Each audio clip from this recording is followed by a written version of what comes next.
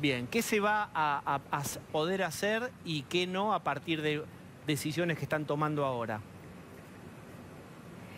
Como ustedes bien decían, el mundo se está cerrando y en nuestro país estábamos a contramano del mundo, estábamos flexibilizando algunas medidas porque estábamos eh, bien con los números.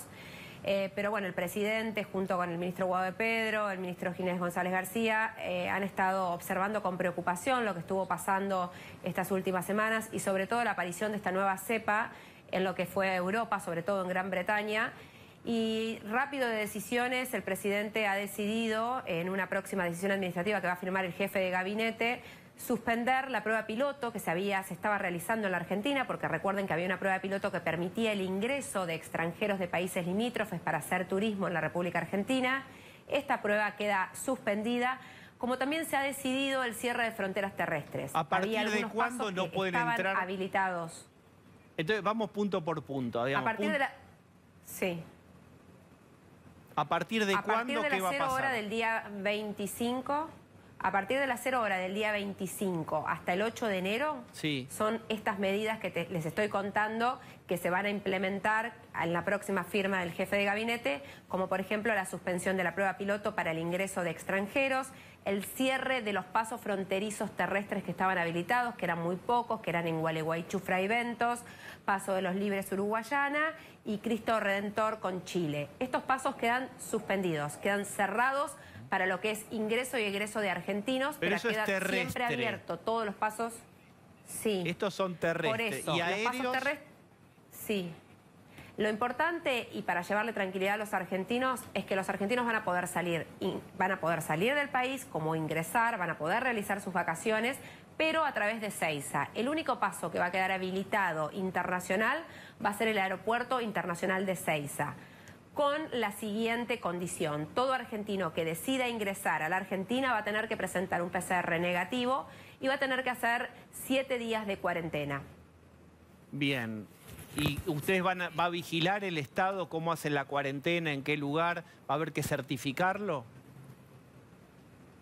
Les cuento que desde Migraciones y por indicaciones de, de Guado, nosotros le pasamos todos los días de manera online a las provincias un tablero donde la persona que está haciendo migraciones le refleja a la provincia eh, que está ingresando y que va a su provincia, dónde tiene que realizar la cuarentena y todos los datos de estas personas.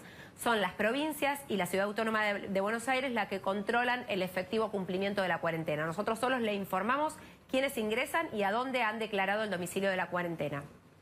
Bien, a ver, entonces hacemos un pequeño resumen hasta acá. Los pasos terrestres van a estar cerrados a Chile, Brasil y Uruguay.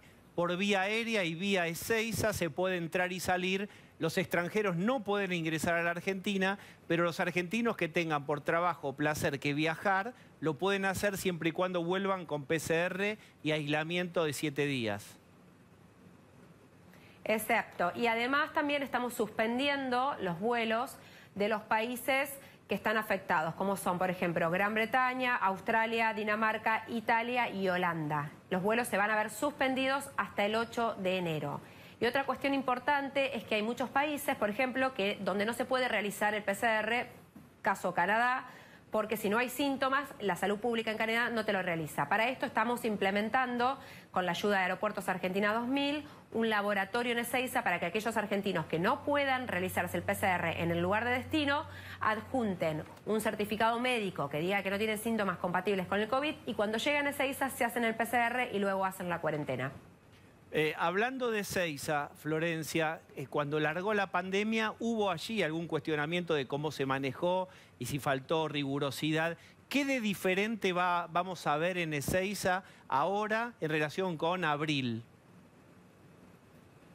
Bueno, cuando pasó todo esto nos, agarró a todo, a no, no solo a nosotros, al mundo entero desprevenido. Y lo que hicimos fue cambiar absolutamente Ezeiza. Hoy a Ezeiza no puedes ingresar con acompañantes, los aviones llegan cada 30, 40 minutos para que justamente las personas no se acumulen en el hall y sobre todo Migraciones, que era un lugar donde siempre había mucha gente, ha implementado una declaración jurada online. O sea, lo que vos hacías antes cuando llegabas al mostrador de Migraciones, hoy lo haces de manera online dentro de las 48 horas antes de, ingresar al vuelo, llenas una declaración jurada. Vos cuando llegás tardás un minuto nada más en el mostrador de migraciones cuando antes tardabas entre 4 y 5 minutos, lo que hace que todo fluya y sobre todo se despapelice. Recordemos que en marzo había que llenar varias declaraciones juradas, la de salud, la de migraciones. Hoy todo se hace online, está todo mucho más prolijo y mucho más ágil. Bien, Pablo. Eh, eh Cañano, buenas noches. Eh, ¿qué, se le puede decir a alguien que tenía pensado vacaciones? Vamos a hablar de algo mucho más concreto. Mucha gente quizás no, no puede ir a Uruguay, porque Uruguay cerró sus fronteras, pero sí puede ir a Brasil eh, o podría ir a Chile. ¿Qué se le, qué le decimos a, qué se le puede decir a esa gente hoy? Que va a poder salir perfectamente por el Aeropuerto Internacional de Ceiza y que va a tener que tomar los recaudos necesarios que todos los países están estableciendo. También le digo a esas personas que van a tener que, que tienen que tener en cuenta que eh, Brasil está pidiendo hisopado, hisopado negativo 72 horas, que tienen que tener en cuenta también para hacerlo que todos los países del mundo, como ustedes bien lo decían, están cerrándose y están imponiendo condiciones, que vean a dónde van, primero si está abierto para argentinos, hay muchos países como la Unión Europea y Uruguay que no están abiertos para argentinos, y después que vean qué les piden y que para volver a Argentina, para no poner en riesgo a todo el resto de los argentinos, van a tener que hacerse un PCR negativo y la cuarentena de siete días. Bien, ahora Marce, le quiero decir al doctor Stoll si él desde su óptica, médica está viendo, tiene alguna pregunta, también se puede sumar, me hace señas con la mano y, algún, algún dato que nosotros periodísticamente no estamos viendo, por ahí el doctor lo ve. No, no, bien, ahí está. Diego, recargar, no, me parece muy bien, ¿eh? la decisión del presidente y de la directora de Migraciones me parece excelente de cerrar pasos y dejar, dejar Ezeiza, porque si vos consideras un aeropuerto como JFK, el de Los Ángeles, eh, Atlanta, que mueven 50 millones de personas por año, la verdad que si Ezeiza fuera eso, uno debería considerar reducirlo o cerrarlo en este momento. Pero siendo un aeropuerto que mueve mucha menos gente por año, es razonable que haya movimiento y no, está muy bien que lo dejen abierto. Bien, bueno, Marce. No, aportar un dato, y bueno, por supuesto que si Florencia nos puede también ayudar a, entender cómo tiene que proceder quien viaja al exterior. Eh, hoy hubo una reunión eh, donde participaron varios empresarios en una cámara importante empresaria y se mencionó que si esto es una disposición oficial y ya se avisa con tiempo, atención a aquellos que viajen. Atención con lo que dice Marcela Pagano, porque en la reunión de producción eh, hablamos siempre lo que vamos a cuando ella dijo esto, todo el mundo se interesó. O sea, atención, decí lo, que, lo que están pensando. Uno cuando se dispone a tomar vacaciones, por supuesto, cuenta los días y se reincorpora al día siguiente eh, inmediatamente y fehacientemente se comunica. Si esto ya es una comunicación oficial de Estado, todo aquel que se dispone a viajar al exterior tiene que saber que tiene siete días contemplados. Y las empresas están reticentes a dar esos siete días y pagarlos como si fuera un día trabajado. Es decir, que aquel que se toma vacaciones tendrá que hablar con su empleador para saber si esos siete días que después corresponden, como estaba contando Florencia, hay que hacerlos como cuarentena cuando se reingresa, si se los pagan o si en realidad son vacaciones también. Si vos tenés tres semanas y te tomas dos, atención porque tal vez esa tercera, que vas a estar en cuarentena, te la computan. A ver, Florencia, no sé si es exactamente tu área, pero por ahí tienes alguna idea. No, no. es, mi área, claramente, pero bueno, cuando uno tiene que, uno decide irse de vacaciones, asume riesgos. Dentro de los riesgos está esto y dentro de los riesgos que estamos teniendo todos en pandemia es que las reglas cambien todo el tiempo. ¿Por qué? Porque aparecen cosas impredecibles como por ejemplo una nueva cepa que cambió todo lo que venía pidiendo Argentina. Nosotros la verdad que veníamos flexibilizando todas las normas y veníamos abriendo porque nos daban bien los números, porque considerábamos que el turismo iba a ayudar a la Argentina y estábamos en condiciones. Bueno, esto nos hizo cambiar todas las reglas del juego. Cuando las personas deciden irse de vacaciones afuera en un momento de pandemia mundial, tienen que considerar que se les pueden pedir cosas que cuando se fueron no estaban y considerar este tipo de cosas, que cuando vuelvan van a tener que disponer de siete días que a lo mejor no contemplaban. Son los riesgos de cuando uno decide vacacionar afuera. Bien, Osvaldo Bazán. Eh, sí, directora, buenas noches. Eh, usted dijo que no puede venir gente de Dinamarca o Australia, por ejemplo, en vuelos directos, ¿eso es así? Bueno, en realidad lo que teníamos nosotros son, eran vuelos directos a Gran Bretaña y a Holanda. Eh, los países que menciona el Ministerio de Salud como países afectados por la nueva cepa son estos países que mencioné. Nosotros como argentinos teníamos directo a Holanda y a Gran Bretaña, que fueron los vuelos que seguramente se van a estar suspendiendo en los próximos días. Y entonces, eh, ¿cómo es la cuestión con Australia y con Dinamarca?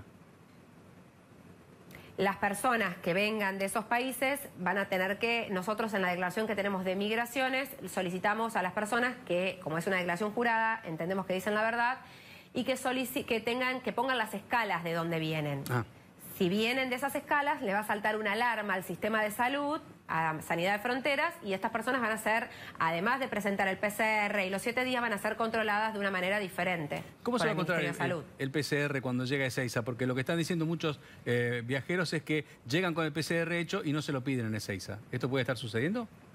Bueno, quiero contarles que hasta Hoy no era obligatorio el PCR. El argentino podía optar por PCR y cuarentena. Iba a entrar en obligatoriedad a partir del 8 de enero. Con todas estas nuevas decisiones, ahora sí es obligatorio.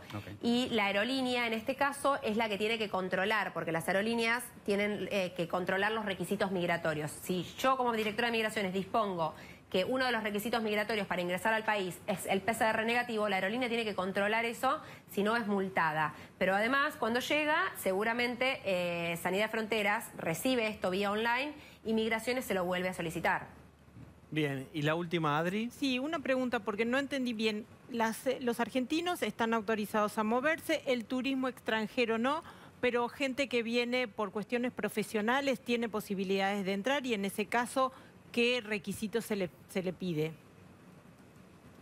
Sí, por supuesto, hay un montón de excepciones a esta, a esta regla y una de las excepciones que son los tripulantes, eh, transportistas, eh, diplomáticos y en este caso personas que son esenciales, que vienen a realizar una tarea esencial, como por ejemplo que vienen a refaccionar cuestiones de IPF, de pozos petroleros, mineros, están todos exceptuados. Estas personas tienen que ingresar con un certificado de salud que diga que no tiene síntomas compatibles con, con el COVID porque se entiende que vienen a hacer tarea, una tarea específica y muy poco tiempo.